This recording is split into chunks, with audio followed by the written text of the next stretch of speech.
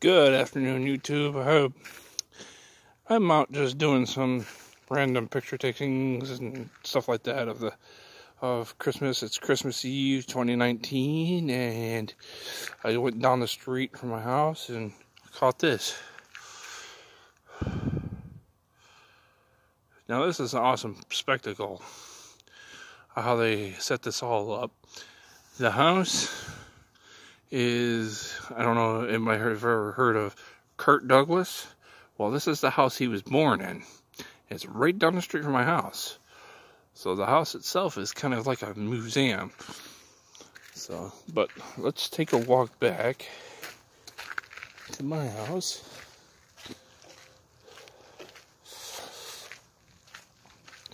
Let me show you my house.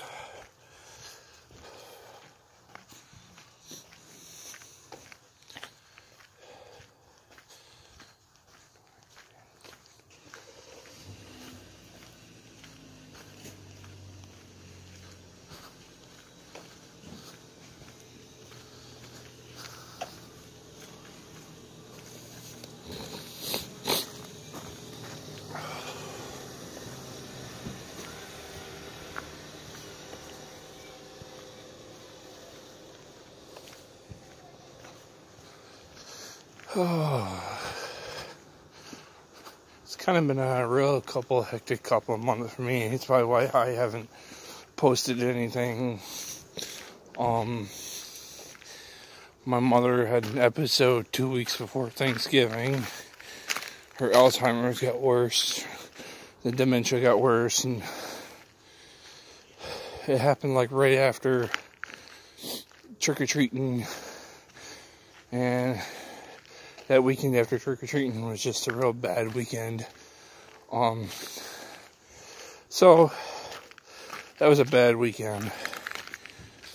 Um, so far, my me and my sister and my girlfriend been trying to hold the fort down. So th- that's probably why you haven't seen me uh, posting anything lately. Is excuse me, a lot of things have been going down. So with the family I'm not going to try to plaster my stuff all over the internet because I'm not like that. So, but I'm now back to my house and I'll show you what I've done. Ain't nothing too spectacular, but I did the work. You know, I just want to feel achieved that I did the work.